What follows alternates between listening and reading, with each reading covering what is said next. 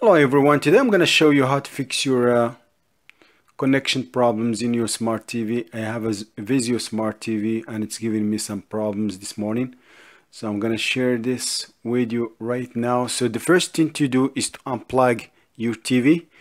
Turn it off first. Unplug your TV for two minutes.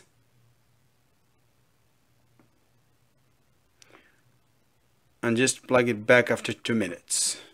Turn your TV back on and if it's still giving you problems if your TV supports Ethernet cable so just connect an Ethernet cable to your TV from your Wi-Fi router to update your TV. It's gonna update itself automatically and will fix any problems. Still not working so let's go to find another workaround. So I'm gonna go to settings go to system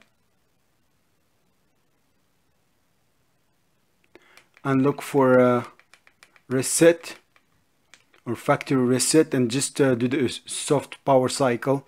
This is in some uh, smart TVs this option soft power cycle is gonna start your TV to fix any problems.